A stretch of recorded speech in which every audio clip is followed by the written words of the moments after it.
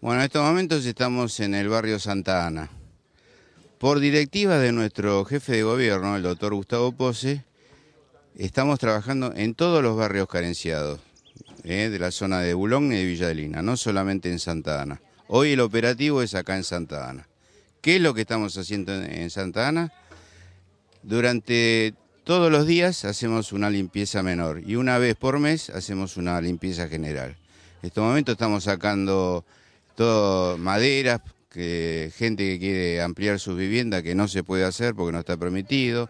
Estamos limpiando todas las zanjas, perfilando las zanjas, haciendo una limpieza bien a fondo para evitar contaminación y posteriores enfermedades. Bueno, me llamo Norma y soy vecina de acá de 35 años y tengo 65 años y bueno, me gusta lo que están haciendo muy bien y bueno, a veces así cambia un poco el aspecto del barrio y todas esas cosas.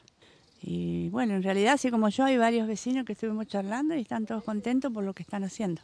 Otro sí se ve otro aspecto, otro más mejor de lo que venía siendo antes. Gracias al municipio que nos están dando una mano para poder estar mejor. El barrio Santa Ana está ubicado en Bulogne y los límites son Camino Real, Alcorta, Bagnati y el murallón del cementerio de Boulogne.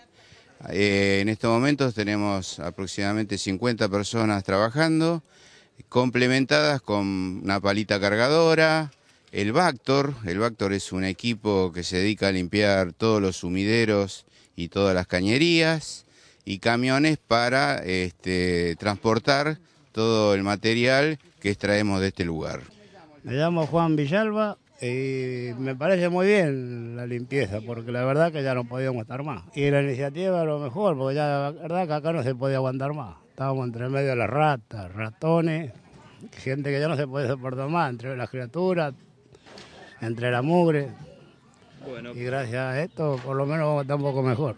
Nosotros aproximadamente hace seis meses que venimos a trabajar en forma continua, permanente, y lo primero que hicimos es desmalezar y limpiar a fondo todos los pasillos. Y algo muy importante que era eh, ralear, podar los árboles para evitar que con estas tormentas torrenciales que están viniendo últimamente produzcan algún accidente o el derrumbe de alguna casilla. Eso prácticamente lo tenemos todo bajo control.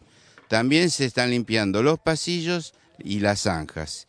Y ahora les di una directiva a mis colaboradores eh, vamos a disponer de una bomba y vamos hasta tanto la empresa responsable del servicio de cloacas y agua, que gracias a directivas y conexiones y tratamiento que está haciendo nuestro intendente con las autoridades, eh, este, este barrio va a contar con una red de cloacas acorde a la situación y también con agua corriente para que tenga la suficiente presión de agua y estén bien abastecidos. Aprovecho la oportunidad para mandarle un muy buen año a todos los vecinos de San Isidro y fundamentalmente a nuestra familia de Boulogne y de Villadelina.